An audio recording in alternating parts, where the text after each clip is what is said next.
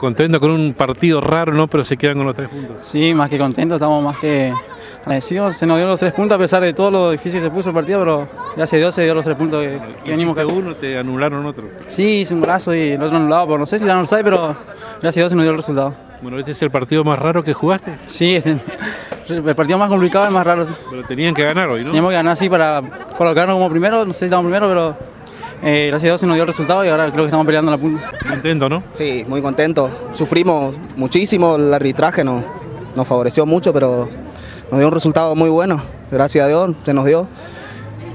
Dejar estamos- todo- había que dejar todo hoy, todo hoy, ¿no? todo hoy. Después nos quedamos libres la fecha que viene y hoy era el partido clave. Para, para estar bien arriba, ¿no? Ya está bien arriba. Vamos, tenemos que aprovechar eso y gracias a Dios ni un muchacho salió lastimado hoy. Todos los partidos sale uno o dos lesionados hoy. Parecía que se les escapaba, ¿no? El arbitraje no fue penal. Pero gracias. se nos dio por suerte.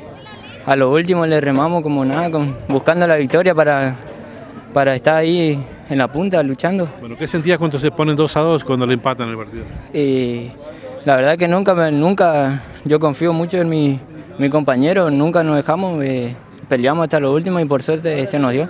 A lo necesitaban esto, ¿no? Sí, necesitábamos para quedar ahí peleando en la punta y, y bueno, hay que seguir así, trabajando y dejando todo. Bueno, se hablaba mucho adentro. Eh, sí, se, siempre se habló así.